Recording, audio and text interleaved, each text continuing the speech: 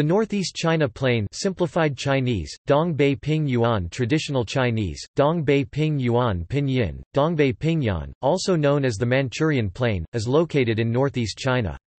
It lies between the Greater and Lesser Khingan and Changbai Mountains. Covering 350,000 square kilometers, it is China's largest plain, with an elevation of lower than 200 meters. The Songhua, Nen, and Liao rivers run through its vast and fertile land. The Manchurian Plain of Asia is the other name of Amur Valley.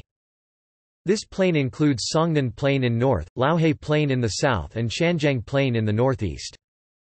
It is suitable for mechanized farming, and huge areas are planted with wheat, corn, soybeans, rice, sugar beets, sunflowers.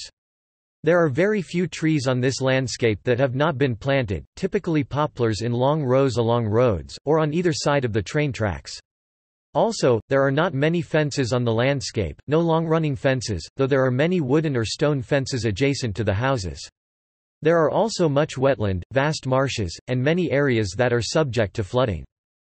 The Songliao Plain simplified Chinese, Songliao Ping Yuan Traditional Chinese, Songliao Ping Yuan Pinyin, Songliao Pingyan is the part of the northeastern plain, located in Manchuria, China.